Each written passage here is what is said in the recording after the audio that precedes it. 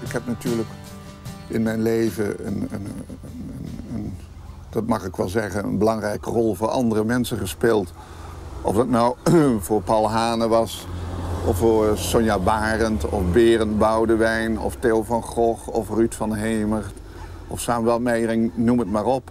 Maar ik heb altijd daarin een, een, laten we zeggen, een belangrijke stimulerende rol gespeeld. En uiteindelijk dan kom je toch toe aan uh, jezelf. Dan kom je toch jezelf tegen. En ja, daar groei je langzaam naartoe. Dat je gewoon uh, denkt, nu moet het een keer echt over mezelf gaan. Ik had gemerkt inmiddels natuurlijk al die jaren dat ik een soort vertellerscapaciteit heb. Dat ik goed kan vertellen, dat ik mensen kan meeslepen als ik vertel. En ik had altijd tegen mezelf gezegd, als je rond de 50, 52 bent, dan moet je maar eens gaan vertellen. Ik vind dat je niet moet vertellen als je jong bent. Een jonge man van 23 jaar die gaat vertellen, die, ja, het lijkt, die kan alleen maar iets reproduceren, iets hervertellen. Iets uh, wat hij zelf eigenlijk niet heeft meegemaakt. En ik denk dat als een, als een ouder iemand een verhaal vertelt, dan is ieder woord wat hij uitspreekt, is beleefd, is meebeleefd, is doorleefd. Dat is het woord huis, als dat iemand van 55 jaar zegt. Dat heeft een andere klank dan iemand die 22 jaar is.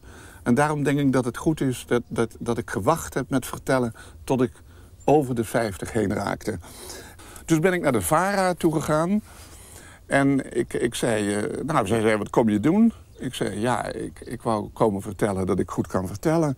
En dat ik wel eens zoiets wil doen. Ik had ooit vroeger natuurlijk uh, een, een beruchte verteller, een, een befaamd verteller, Pierre Jansen, gehoord. En die man was kunsthistoricus en die op fabelachtige wijze kon die man vertellen over schilderijen en tekeningen en kunstuitingen in het algemeen. En zei, ja, maar wat wil je dan vertellen? Ik zei, nou, over de natuur. Ik wil over de natuur dingen vertellen. En zei ze, nou, dat is dan, en dat is echt waar. Dat is buitengewoon toevallig. Toen zei dat is jammer, want we hebben vorige week een contract afgesloten met Pierre Jansen, nota bene dezelfde Pierre Jansen die mij altijd voor ogen had gestaan. De vorige week een contract afgesloten van 26 afleveringen met Natuurmo de Vereniging van Natuurmonumenten over de natuur. Ja, ik zei, nou ja, goed, eh, het hoeft niet meteen, misschien het volgend jaar of het jaar daarop. Ik kom het alleen maar melden dat ik het graag wil. En twee weken daarna, je gelooft het of je gelooft het niet, belde Vara op en die zeggen... Pierre Jansen ziet er van af, het is toch te veel werk voor hem... en we willen kijken of jij het wil doen. Ik rolde echt voor de zoveelste keer met mijn neus in de boter. En van het een kwam het ander. Ik, heb toen, ik ben toen uh, bij de VPO Radio een programma gaan maken. Iedere dinsdag, ontmoetingen in de natuur. En ook dat heb ik met heel veel plezier gedaan. En ik heb daar nu nog, sinds ik ziek ben geworden... heb ik daar nog steeds een overstelpend aantal reacties op gekregen. Met veel plezier heb ik uh, gewoon mij voor het eerst gestort in een uitermate... Laten we zeggen dat, dat voor het eerst de woorden uit mijn mond kwamen zoals die woorden door mij bedoeld waren. En vroeger waren de woorden altijd voor anderen bestemd. Uh, het zij enthousiasmerend, het zij raadgevend, het zij ondersteunend, noem maar op. En nu sprak bij mij het hart. Ja, dat heb ik dan gedaan. En toen werd ik ziek. Toen was het eigenlijk uh, afgelopen. Want het is uh, ondoenlijk om met deze ziekte dit soort programma's te maken. Dus erg lang heb je niet van... Uh... Nee, ik heb het maar... Uh... ik heb maar twee jaar kunnen zeggen wat ik uh, zelf ervan vond. En toen werd daar op een... misschien wel een, een, een beetje vrede wijze een stokje voor gestoken. Maar ik blijf dat herhalen. Ik beklaag me niet. Ik heb dat allemaal meegemaakt. Ik heb dat allemaal mogen meemaken. Ik heb het allemaal gezien, gehoord. Ik heb erover gepraat. Ik heb er reacties op gehad. Ik beklaag me echt in geen delen. In de vorige aflevering van het leven van Giet Jaspers vertelde Giet over zijn carrière als zakenman.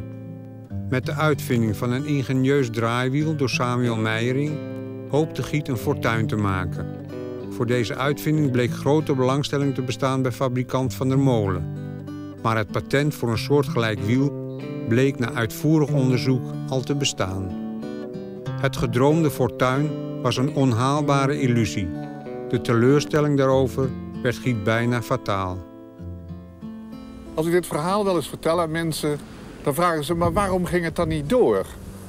Het ging niet door omdat bleek dat er in Amerika iemand was geweest die datzelfde wieltje bedacht had. Een patent uit 1958. En zo'n patent verloopt. Dat wil zeggen, dat komt het vrij op de markt. Het wieltje is nooit gemaakt. En het zal ook nooit gemaakt worden. Omdat het niet meer beschermd kan worden. Je moet je voorstellen dat er geen... Er zijn miljoenen voor nodig om, om te investeren in de, in de fabrikage van zo'n wieltje. Maar je bent onbeschermd op de markt. En daarom komt die uitvinding nooit op de markt. Zo zijn er veel van die uitvindingen. Een andere uitvinding van Samuel Meijering was de roldoos. In de vorige aflevering van het leven van Giet Jaspers vertelde Giet dat de verkoop van de roldoos door het mogelijke succes van het wieltje geheel op de achtergrond was geraakt. Van der Molen kocht de roldoos weer op dezelfde royaltybasis als we met dat wieltje gedaan hadden. Dat wil dus zeggen dat hij de roldoos ging fabriceren en dan kregen we van iedere verkochte roldoos kreeg je een bepaald percentage. Dat ging al lang niet meer om die grote bedragen als bij dat wieltje. Het ging om, om relatief klein. Bij het wieltje ging het echt om miljoenen en miljoenen. Maar bij die roldoos ging het om, om, zeg maar om een paar miljoen. Het was veel, en we waren, we waren eigenlijk blij dat hij niet afhaakte. Iedere andere zakenman zou gezegd hebben, ik hou ermee op. Maar hij ging gewoon door met ons. En hij bouwde hier achter me deze fabriek. Speciaal voor de roldoos. Hij liet daarin maken vier grote lijnen, assemblagelijnen, om die roldoos te fabriceren. Ik ben erbij geweest dat hier eerst niets was. En na een half jaar kwamen we hier en toen was hier een complete fabriek. Daar speelde Hilversum 3 in de hal. Daar waren kantines, daar waren die lijnen en hier stonden de tientonners voor de deur met, met het, met het roldoos-embleem erop. En die vertrokken hier volgepakt met roldozen naar Duitsland, naar België, naar Spanje. Want het liep als een trein. We waren bij Sonja Barend ermee geweest en het was echt zo'n hebben-ding. Eigenlijk in de tijd 1980, 1981, iedereen in Nederland had wel zo'n ding. En toen zei Van der Molen op een dag tegen ons... ik wil toch de hele roldoos rechten van jullie kopen. In één klap. En op een goede middag zaten we hier in dit kantoor aan deze tafel. Daar zat Ber van der Molen, daar zat Samuel en hier zat ik. We hadden ons voorgenomen, we willen voor de hele deal 1,4 miljoen gulden hebben. Dat kun je berekenen, waarom, en, en dat aan de hand van uh, prognoses uh, kun je daar de redelijkheid van waarmaken. En Van der Molen zat daar en die zei, wat, wat willen jullie ervoor hebben? En zo'n zo'n verkoop begint altijd heel ongedwongen. Nou, zei ik, uh, voor 1,4, uh, als je een cheque neerlegt, 1,4... dan uh, gaan wij met jou straks een lekker kopje koffie drinken. En Van der Molen die keek me aan of hij water zag branden. Hij zei, in geen 1,4 miljoen jaren krijgen jullie dat. Hij zei, want, het is heel makkelijk, zei hij, ik bied 7 ton.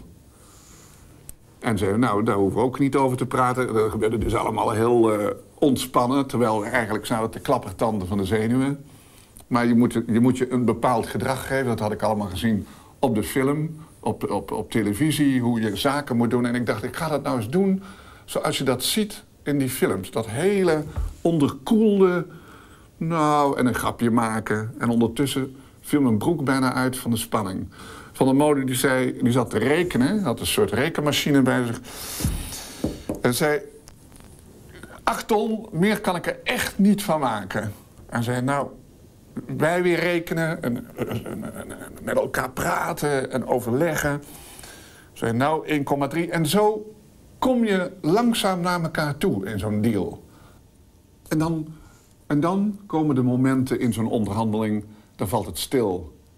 Dan hoor je buiten een merel fluiten. Je hoort dat geraas van die roldozen die gemaakt worden. En je hoort, het meeste wat je hoort, is het bonken van je eigen hart. Maar je wil niet omlaag met je vraagprijs. En je voelt dat de ander niet omhoog wil. En waar eindigt dat? Hoe krijg je dat voor elkaar? Hoe krijg je wat je wil hebben? Want wij wilden eigenlijk een miljoen gulden hebben. En dat is veel geld, contant.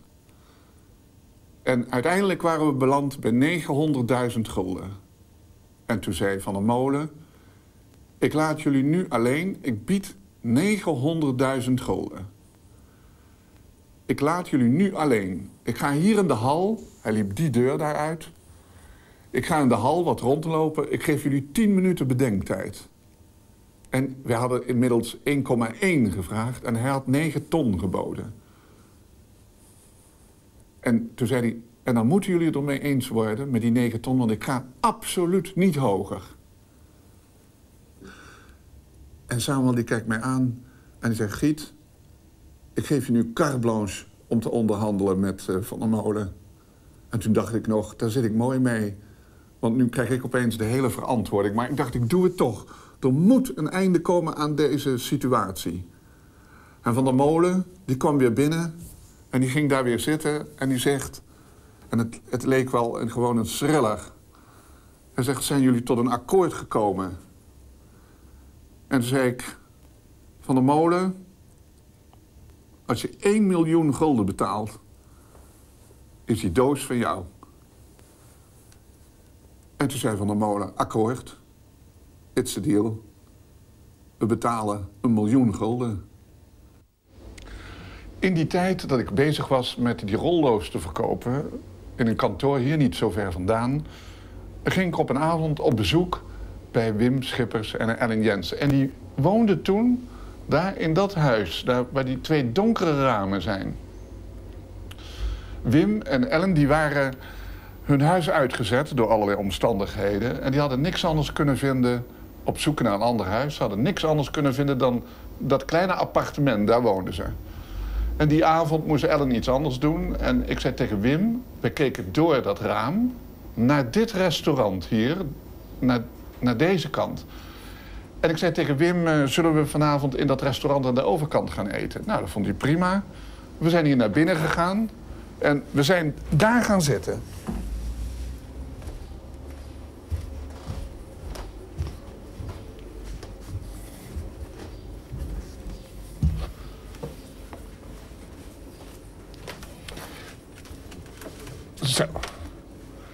Nou, hier gingen we dus zitten. Eigenlijk zat Wim Schippers, zat hier en ik zat daar. En wij begonnen hier te eten en te drinken. En uh, zoals te doen gebruikelijk was in die dagen... waren we ook weer binnen de kortst mogelijke tijd volgens mij dronken. En dan had Wim één heel eigenaardige grap... die niet op prijs werd gesteld. Dat was, dan stond hij op, hij zat hier... en dan had hij een dubbeltje en dan zat daar beneden iemand te eten, heel deftig.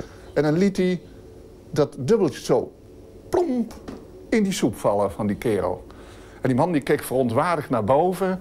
En dan zei Wim, smakelijk eten. En dan ging hij weer hier zitten.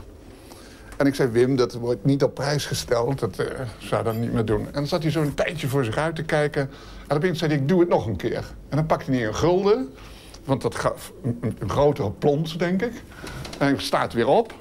Hij gooit weer pats, die gulden in die soep van die man. En die man die wordt echt ontzettend kwaad. En die gaat naar de, naar de eigenaar toe en beklaagt zich daarover. Wij zitten hier dus weer stiekem met onze dronken hoofden te lachen. En op een gegeven moment komt die man, die baas, die komt boven, die is woedend. En die, die, die komt die trap daarop en die komt naar ons toe. En die grijpt vooral Schippers bij zijn kraag. En die sleept hem zo hier en die zegt, en eruit. Nu eruit. En die gooit ze hier. Ik ben even buiten adem. Wacht even, ik moet even een break maken. Dat is niet leuk als ik zo zit te hijgen. Het is gewoon van dat even opstaan. Wacht even. Ja? Ja? Die man die staat op en die loopt daar naar de keuken... en die gaat zich onmiddellijk beklagen bij de eigenaar die daar toevallig stond. En die, ik kon dat zo mooi zien vanuit die hoek. Ik zie zo die eigenaar lopen, die wenteltrap op. Ik denk, oh jongens, dat gaat niet goed. Die komt daar boven, die man, die loopt hier naartoe.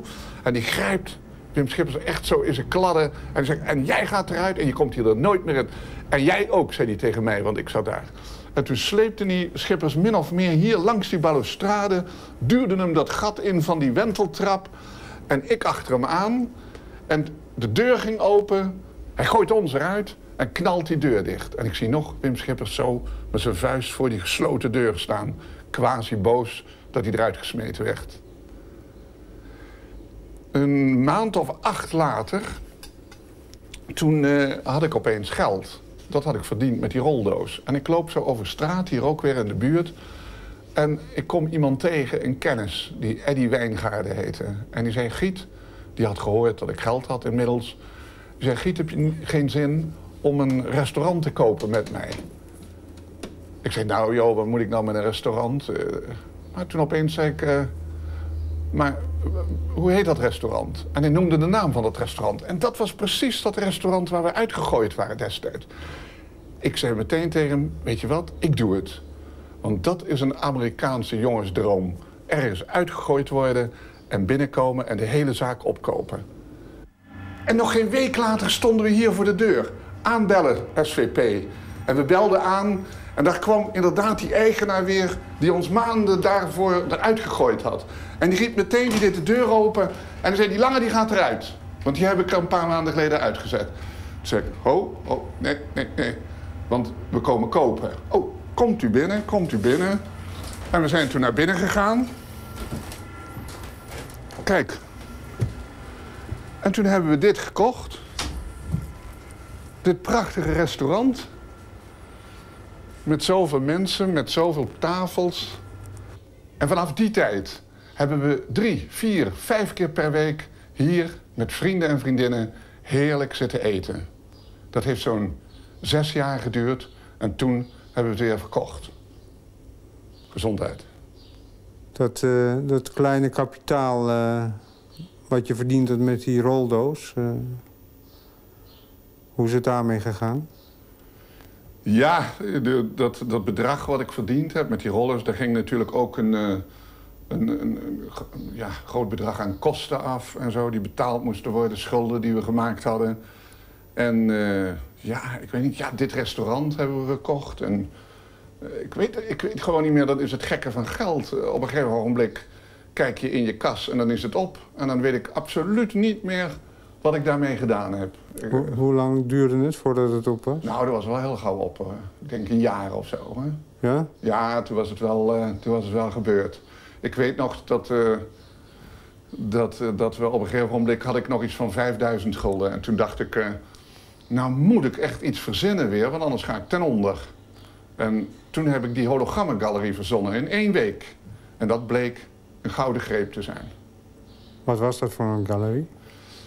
Um, dat waren, uh, ja, het was een galerie die eigenlijk uh, een soort driedimensionale fotografie tentoonstelde.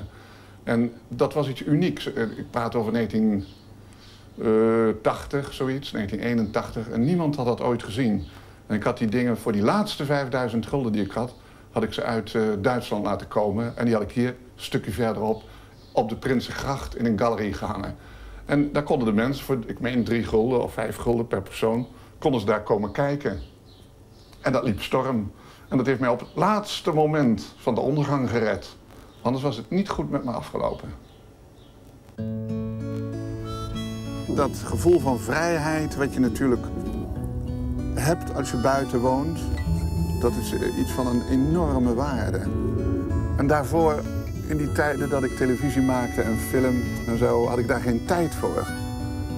Dan, uh, ik had er ook geen behoefte aan, niet echt. Maar langzaam maar zeker, toen ik een jaar of 46, 47 was, kwamen de beelden weer terug van mijn jeugd in Zuid-Limburg. En mijn onherroepelijke en, en volkomen uh, drang naar een, een samen zijn in de natuur. Um, dat is iets, iets uh, bijna onbeschrijfelijks. Het wordt alleen goed opgeschreven, vaak in gedichten, die ik zelf niet, niet kan maken of zo. Maar ik uh, word heel mijn leven, als ik hier ben, word ik steeds herinnerd aan die kleine, prachtige van Ede, de schrijver Frederik van Ede noemt het de passieloze witte lelie, die hier zo rustig, kijk eens zo'n schitterend exemplaar, op het water drijft. In het water zie je de weerspiegeling van de zwaluwen die rondvliegen. Je ziet de, de beestjes daaromheen en je ziet die, die lelie, dat hele smetteloze witte van de lelie met dat gouden hart. Dat zo prachtig rust op dat donkere wateroppervlak. Hij heeft daar een gedicht over gemaakt. Kijk, nu wordt hij net bezocht door een wesp. En hij heeft daar een schitterend gedicht over gemaakt. En dat las ik toen ik een jongen was van negen jaar. Dat gedichtje, en dat heette De Waterlelie. En het ging zo. Ik heb de witte waterlelie lief. Daar die zo blank is en zo stil haar kroon uitplooit in het licht. Reizend uit donker, koele vijvergrond heeft ze het licht gevonden en ontsloot toen blij haar gouden hart. Nu rust ze peinzend op het watervlak en wenst niet meer. En ik weet niet hoe het kwam, maar ik moest toen ontzettend huilen. En ik was maar negen jaar oud. En ik had nog nooit een waterlelie gezien. In Zuid-Limburg bloeien geen waterlelies. En ik huilde. En toen las ik het gedichtje weer opnieuw. En toen moest ik weer huilen. En ik begreep als kind niet waarom je moest huilen vanwege een gedichtje. En naderhand begrijp je dat je als kind onbewust wordt je gevangen door zo'n beeld. Je weet niet waarom dat het je zo aanspreekt. En naderhand, als je een jaar of 16, 17 bent, dan begrijp je pas de diepe schoonheid en waarde van zo'n klein gedichtje. En het gekke is dat het gedichtje mijn hele leven mij begeleid heeft. Ik heb daardoor altijd een enorme waardering gehad voor deze bloem. Juist deze bloem, die zo ontzaglijk mooi is dat je het niet waagt om hem aan te raken. En die, die lijkt, als je, als je je voorstelt dat het donker wordt... en dat je hier vredig ligt in je bootje, vredig in je bootje tussen de witte waterlelies... die zo lichtend opgloeien in het donker. Als je dat ziet en je kijkt naar boven, naar de hemel... naar de sterren die net zijn als die witte waterlelie... Zo druk, zo mooi, zo aan elkaar geregen in de blauwe nacht. En je, je, je vaagt in je verbeelding over dit, dit kleine riviertje. En naast je de witte waterlelies. En boven de goudgele sterren in de donkere nacht. Dan voel je dat je op weg bent in het leven naar iets, naar iets waar, waar vrede rust, waar vrede is. Waar je zult rusten, dat je daar zal aankomen en dat je net als de witte waterlelie niet meer zult wensen.